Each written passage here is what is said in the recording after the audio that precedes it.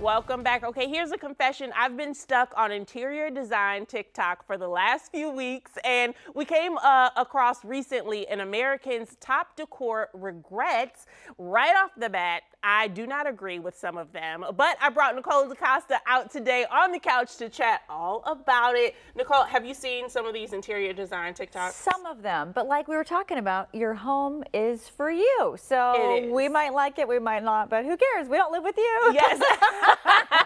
I was very surprised when I saw some of them that people are listing as like regretting I know. that, that they did them. So we'll we'll go over some of these.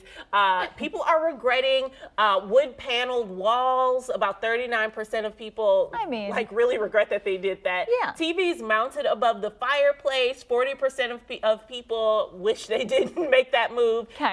TVs mounted above eye level. 43%. 'Kay. Conversation pits and recessed lighting, 43%, and shag carpeting, 43%.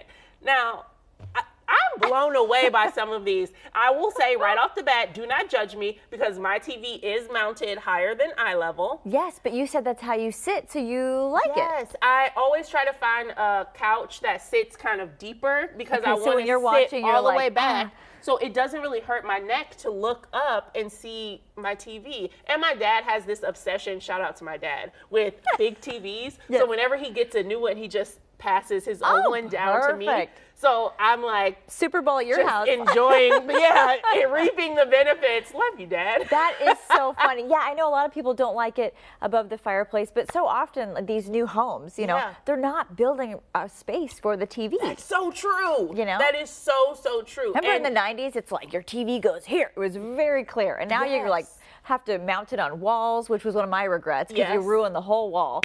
I Um, know. Yeah. But I think that that kind of almost goes into how obsessed Americans are right now with interior design. Yes. So nobody's thinking about where are we going to put this and that. It's just like make it pretty, make it something Yes. that no one else has. Like the conversation pits. Oh, yeah. I want that in Oh, a, a house See, when I need, buy. You need like an old, like, um, cool, hip, modern. yeah. You know what I mean? I'm down for The it. shag carpet.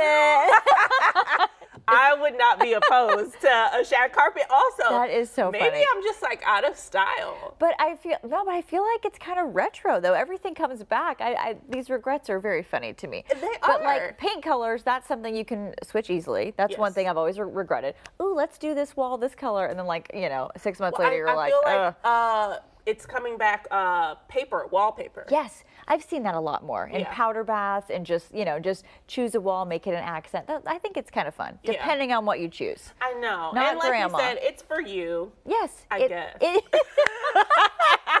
and also mine is like not even built into the house. It's like the knickknacks. You know what I mean? Mm. I'll be like, oh, I want to do this bookshelf, so cute, and then then it's cluttered, and I want to take it all back. I know. What can you do? I, I just came across another TikTok video for you know people who are obsessed with interior design, but a little messy. Yes. And they, they're giving tips. I'll send it to you. Oh, okay, perfect. Thank you so much.